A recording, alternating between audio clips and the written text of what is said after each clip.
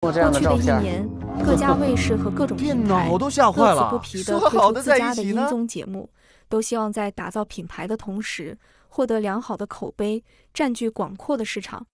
其中的佼佼者莫过于芒果台，而最出彩的音综节目则非生生不息莫属。经过港乐季的打好基础，宝岛季的充分发挥，嘉年华似乎必将顺势而为。七期节目下来，点赞的固然大有人在，而吐槽的也不在少数。这样的局面其实不难理解，盘面大，受众多，必然不同的意见也多。撇开一些议论中所指出的真人秀之尬与选曲之不够上心、生生不息，嘉年华在收获了一波不错的收视率外，还是在诸位业务精湛的歌手的加持下，显示出了不一般的品质。由于节目采用的是录播形式，在三公下半场还未播出之际，实际上四公的节目已经准备开启录制模式了。因此，万能的网友小伙伴们也已经提前剧透了四公的部分曲目名单。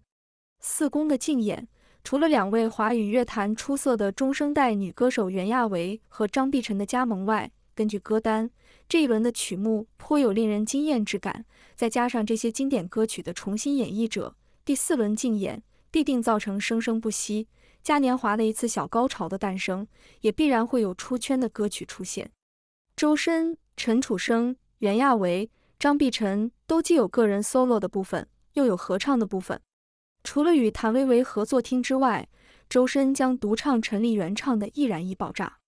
这首并不抒情的歌曲，在周深清澈透亮的嗓音下，将呈现出怎样的可能性，颇为令人期待。而陈楚生在与王心凌合作后者的代表作《大眠》外，也将独唱《南山南》。从曲风与风格上而言，《南山南》与陈楚生此前在节目中唱出圈的胡广生有异曲同工之妙。陈楚生独具故事性的嗓音，以及局外人士的娓娓道来、不慌不忙的演唱方式，颇为适合演绎此类歌曲。再加上他的声音中的颗粒感与破碎感，《南山南》想不出彩都难。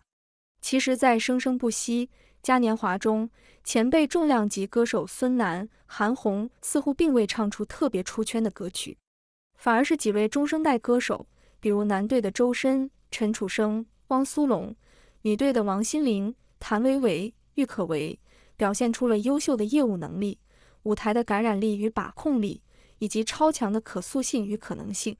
值得一提的是，接连两首二语 B 歌曲《最美》改变自己后，在这一轮，宋亚轩将依旧处于自己的舒适区，那就看他的版本的唯一有什么不一样了。生生不息三作为一档备受瞩目的音乐竞技类节目，每次的 PK 对决都让观众充满了期待。在男女队的对决中，男歌手的选择和表现成为了焦点之一。根据他们的态度和表现，可以将男歌手们的反应大致分为三种类型。首先，以汪苏泷为代表的第一种类型，他们在被选中时，直接在备采环节中表达了回绝。汪苏泷的态度虽然直接，但也在一定程度上展现了他对自己音乐风格的坚持和对竞技压力的谨慎态度。他可能更愿意保持自己的独立性，而不是在竞技场上冒险。其次，胡彦斌和孙楠代表了第二种类型，他们的态度和表达更为直接。他们可能更加自信，愿意接受挑战，并在 PK 中展示自己的实力。他们的直接态度也可能源于他们对音乐的热爱和对竞技的渴望。他们愿意接受任何挑战，以证明自己的音乐实力。第三种类型是由周深所代表的模棱两可的中间人态度。周深在表达自己的态度时，显得更加舒适和灵活。他可能既想要接受挑战，又不想承受太大的压力。他的这种态度可能会让他在竞技中保持一定的优势，同时也能避免过度的压力和批评。尽管女队在最终的 PK 中没有选择任何男歌手加入，这成为了史上不公平竞技的开始，但实际上男女双方的音乐实力并不相上下。因此，具体的对比还需从歌手的人气上来看。从人气上来看，女队中人气较高的歌手可能只有王心凌，而男歌手方面人气较高的可能有周深、宋亚轩、汪苏泷和陈楚生等人。如果从人气上进行对比，男歌手似乎完胜。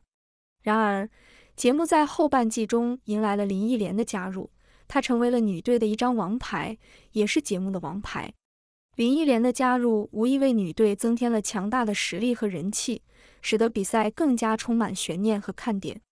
生生不息三在接下来的比赛中，观众可以期待更多的精彩对决和惊喜表现。无论是男女歌手们的实力对抗，还是他们的人气比拼，都将为观众带来一场音乐盛宴。让我们拭目以待，看看谁能够在接下来的比赛中脱颖而出，成为真正的音乐王者。还记得之前评价七美帝的时候，笔者给大家说了一句：现场很喜欢，但是改编并不适合合唱。那么这次的逆光改编就是非常合拍的。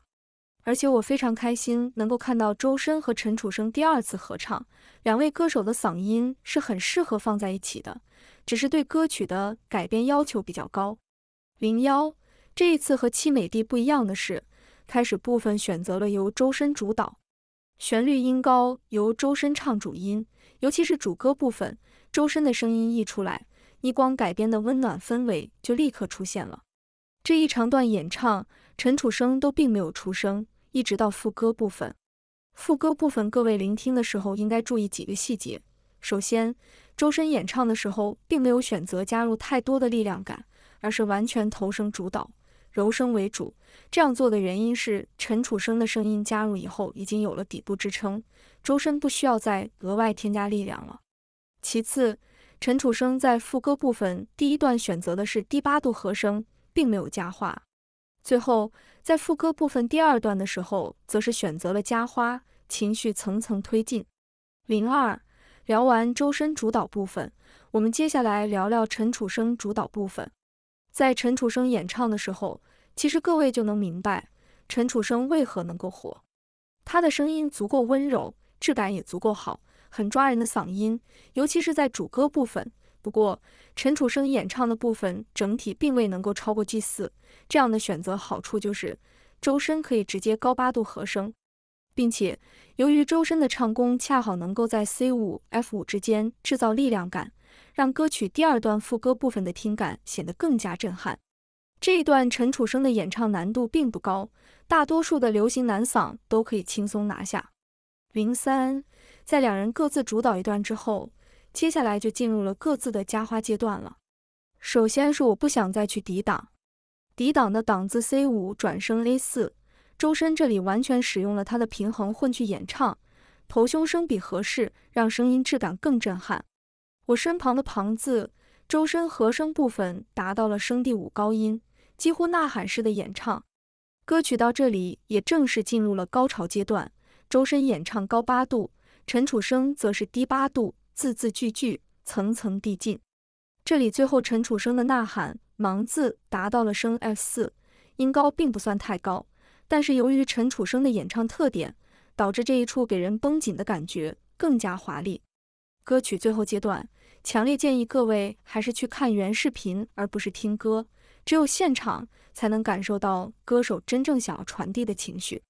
整首歌曲的改编我都很满意，尤其是在最后部分选择了周深适合的音高去演唱，而非陈楚生。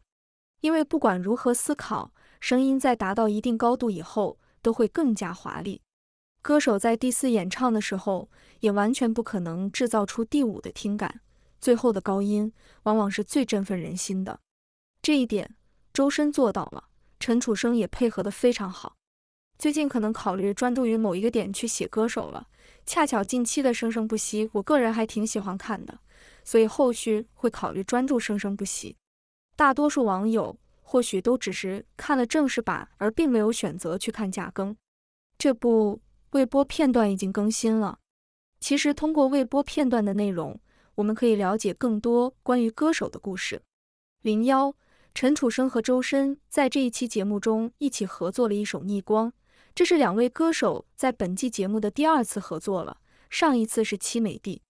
相较于七美帝，我个人会更喜欢逆光一些，因为逆光的音乐内核恰巧是周深和陈楚生都需要传递的，也是两位歌手曾经或者现在经历过的。而互相点评环节，周深一开始点评了陈楚生，我觉得深哥很适合做投资。不过有意思的是，陈楚生表示，反倒是我真的做什么投资都没成功过。而陈楚生对周深评价的这段话，则是让我彻底明白，为何周深能够这么成功。零二，我觉得深深做什么都可以，他很爱去钻研声音。因为我比深深大，我觉得他可能在这个阶段领悟的东西，我可能在他这个阶段的时候领悟不到这么多。这一段话，很多人可能会觉得是互夸，但是从某种意义上来说，也的确表明了业内人士对于周深的看法。周深足够努力，足够勤奋。观察一开始的周深和现如今的周深，我们可以发现以下几点：第一点，逐渐外向。我仍然记得《中国好声音》时期的周深。那会儿的他是腼腆的，如果让他周围围着一圈人，还让他唱歌的话，他恐怕很难不紧张。而现如今的他，已经完全能够随意的开麦唱歌，并且自由自在的做节目效果了。从最初的内向到如今的外向，这其实都是逼自己的结果。第二点，唱功越来越强悍，这一点各位仍然可以对比。如果说一开始的周深靠的是天赋，那么如今的周深。靠的就是勤奋了。戏腔这玩意，一开始的周深是不擅长的。录音这东西，周深一开始是未曾熟练掌握的。小字三组依然有着较高质量的胸声支撑，也是以前的周深仅靠天赋做不到的。而以上种种，都是周深在后期通过自己努力去学习的。正如陈楚生所说，他愿意去钻研，他想去思考为什么。第三点，谦虚不自大。不管各位对周深或者周深的粉丝是什么看法，我们必须承认的是，周深在拥有着强大唱功的情况下，依然维持着谦虚不自大的形象。这一点其实是很难得的。自己拥有了实力和人气以后，很多人就容易飘起来，飘得越高，摔得自然也就越惨。零三，其实周深现如今对待音乐的态度以及发展路线，让我想起了两位歌手，一位是薛之谦。薛之谦在早期的时候，其实只有一首《认真的雪》，那时候的他真的就仅仅只是一个段子手，很多人即使听过《认真的雪》也不认识他。而后来演员出来以后，薛之谦也并没有就直接投身到音乐中去了，他清楚知道自己想要什么，他选择了综艺去增加曝光度和挣钱，靠综艺养活自己的音乐，这并不丢人。而另一位歌手则是汪苏泷。各位回想一下，就会发现汪苏泷参加的真人秀节目可不算少。在我是唱作人的舞台上，汪苏泷就曾经和导演敞开心扉。他并不是真的擅长搞笑，而是学习搞笑必须搞笑。他要靠这样的方法让节目好看起来。节目好看了，他自然也就越来越好了。零四，陈楚生和周深的聊天模式，我是喜欢的。不管互联网如何抹黑。歌手本人并没有展现什么黑点，其实都是空穴来风。周深的人品如果不好，恐怕也不会有这么多大佬喜欢他了。我倒是很好奇，这一季生生不息，周深是否还会有独唱主流流行歌曲的机会？如果有的话，他会选择什么呢？